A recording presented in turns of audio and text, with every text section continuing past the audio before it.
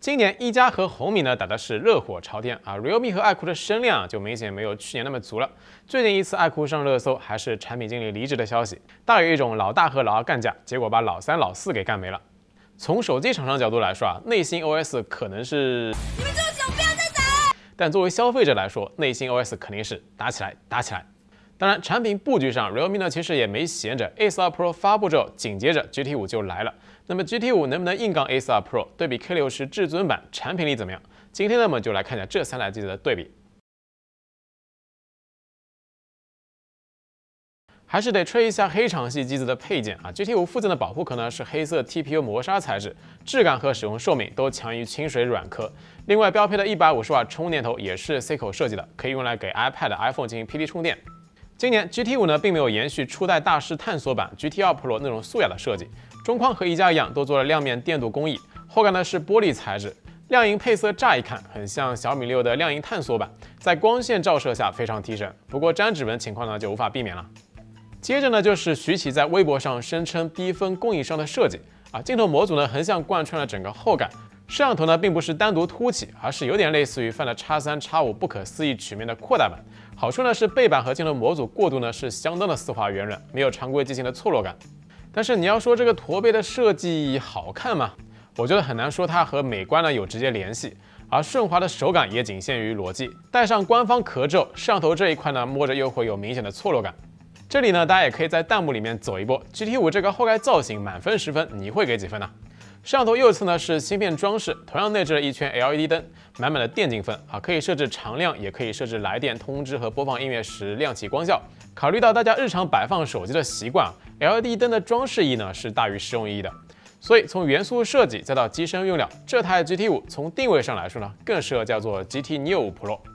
同价位的八降机型呢，有 K60 Pro 一加 A42 Pro，前者呢是直屏，质感不行；后者呢质感不错，但是曲面屏。这方面来说啊，GT 五呢应该是这个价位唯一兼顾了直屏和质感的。即便是和没有塑料支架的 K60 Ultra 相比，在边框宽度、中框处理以及曲面玻璃的过渡手感上都要做得更好，就看你能不能接受它过于独特的镜头设计了。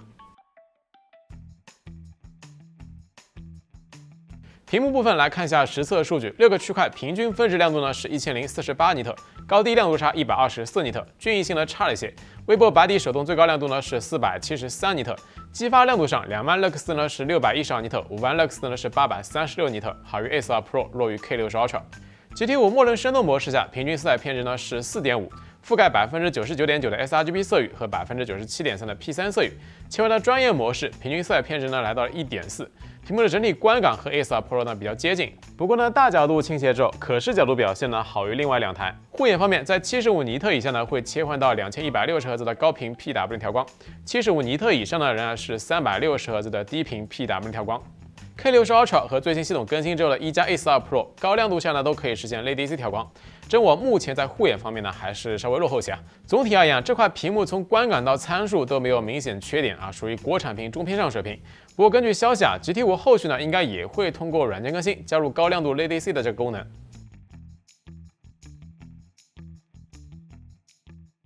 处理器方面，GT 五和 A12 Pro 一样，都是骁龙八镜啊，应用冷启动、中和大核呢都能够同时得到最高频率二点八 G 赫兹加三点二 G 赫兹，配合自定义全局高刷，日常使用的流畅度呢是不错的。用修改报名的 J Benchmark 六测试，单核呢是一千五百加，多核呢是五千一百加，而且连续五次测试，性能衰减幅度呢也不大，平均呢是五千零三十五，机身发热呢也不高，三十七度左右。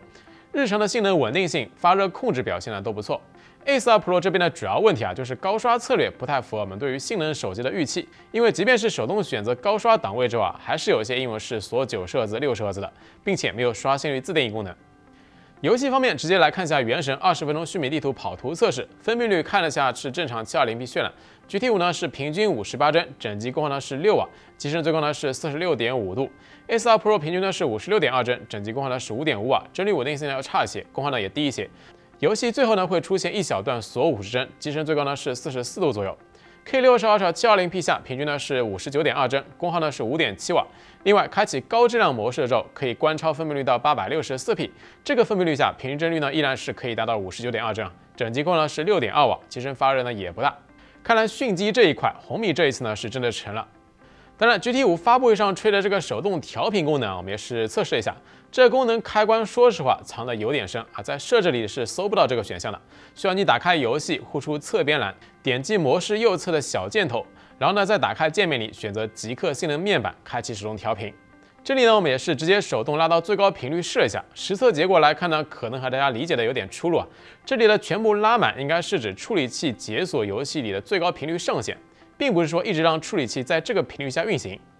实际手动拉满频率之后呢，处理器还是根据负载动态调频的，也会受到温控限制啊。比如说游戏前半段中和大核频率呢可以标得更高一些，但是后半段处理器中和大核呢就开始限制最高频率到一点六 G 赫兹加一点八四 G 赫兹了，甚至呢对比默认模式会更快的进行降频啊。所以说这个手动调频其实呢是感知不强，而且呢也不是所有游戏都生效啊。比如说原神可以手动调频，而星穹铁道呢是不支持的。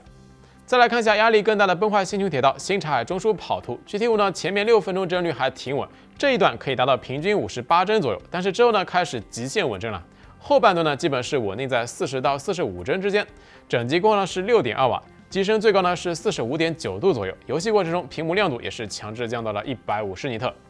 A2 Pro 平均呢是四十五点二帧，四分钟开始就开始极限稳帧了啊，整机功呢是五点六瓦，机身温度呢最高是四十四度左右。K60 Ultra 平均是五十点五帧，平帧率呢最高，但是帧率全程是上传下跳的，实际游戏体验呢也是一般。整机功呢是六点五瓦，机身最高呢是四十五度左右。总体来说啊，性能释放这一块，这两台八键二机型都是不如 K60 Ultra 来的激进了。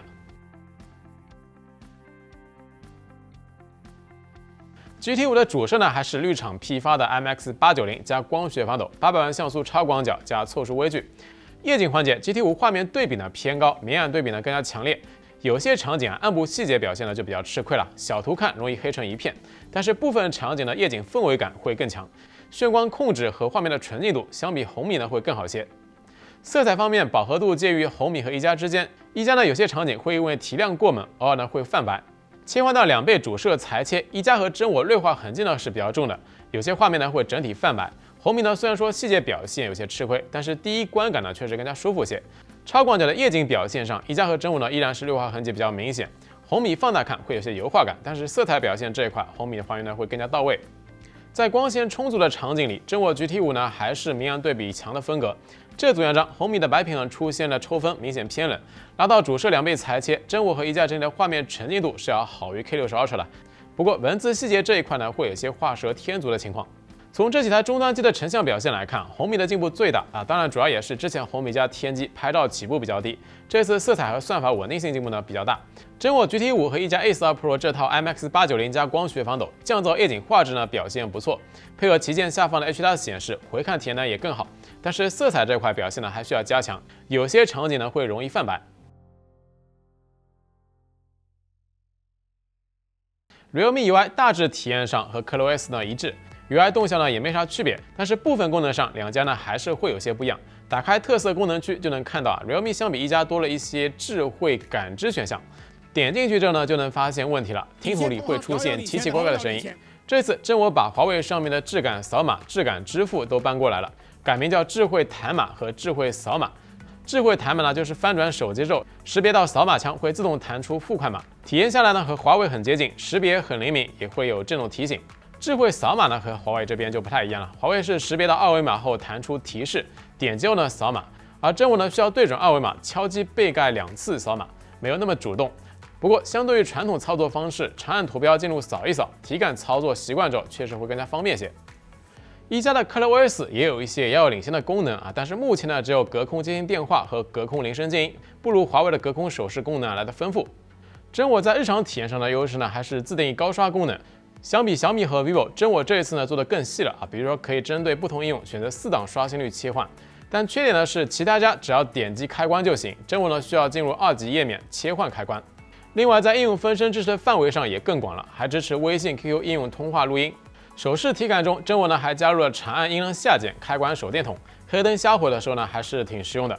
感觉在一些细致的小功能上，好像 Realme UI 呢要比 ColorOS 更加激进积极些。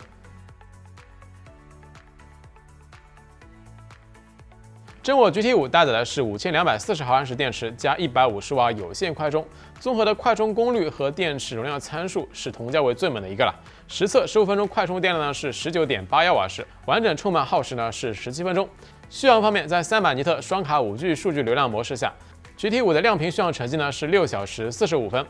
快充和续航对比 A2 Pro 来说，说实话呢没啥明显提升。不过在马达指纹这两块，对比 A2 Pro 差距就很大了。GT 五呢还是两千五百档机型经典组合零八零九加短焦指纹，只能说是和 K 六十 Ultra 平起平坐了。对比 A 四二 Pro 的超薄屏下加零九幺六，无论是指纹解锁的便捷性，还是系统各方面匹配的震动，都有明显差距。